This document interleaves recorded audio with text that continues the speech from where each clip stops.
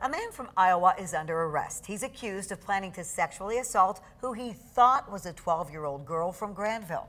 Investigators say Dennis Patrick Reid is charged with persuading or enticing a minor and attempting to travel out of state to engage in illicit sexual conduct. He traveled from Oskaloosa, Iowa to Grandville in July to meet up with a young girl, but it turned out to be a sting involving Homeland Security. 13 On Your Side's, Justin Bachman explains how the arrest was made. Yeah, Val, looking over that 23-page criminal complaint, it is chilling. It turns out that even before crossing state lines, Dennis Reid had nightmares that he was talking to an undercover detective, but he made the trip to West Michigan anyway.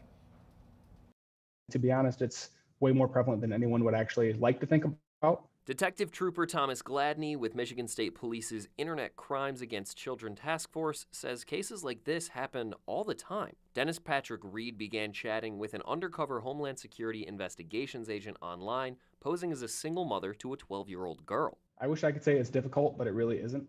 Reid had messaged the undercover agent talking about incest, being open minded, and saying that, quote, age didn't matter. We've had situations where people will make it an undercover account and within you know minutes to an hour they're getting uh, contacted by you know these individuals on the internet that are looking to contact an underage uh, victim it's it's not something you have to try very hard at Court documents allege Reid had made plans to have sex with the undercover agent's fabricated 12 year old daughter, even making a hotel reservation at the Best Western in Grandville for July 29th, planning to meet the girl's mother at a nearby Russ's restaurant in Wyoming for coffee. In this case, the Homeland Security agent was playing the part of the child's mother, but Detective Gladney says often predators are contacting children directly.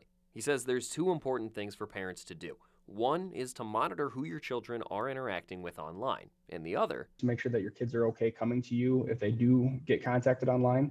They have to know that that you're a trusted adult that's not going to blame them for the interaction. How do you find a balance of building that trust and still watching what your kids are doing.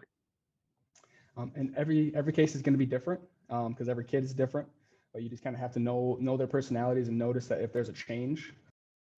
According to court documents, Reid told the undercover agent he previously had a sexual relationship with a 14-year-old. He was arrested on July 30th at a hotel in Grandville. Detective Trooper Gladney says most of the cases the ICAC task force sees come from community tips. So if you know anyone that's raising suspicion or of a child that needs resources, you can find a link to get involved at 13onyourside.com.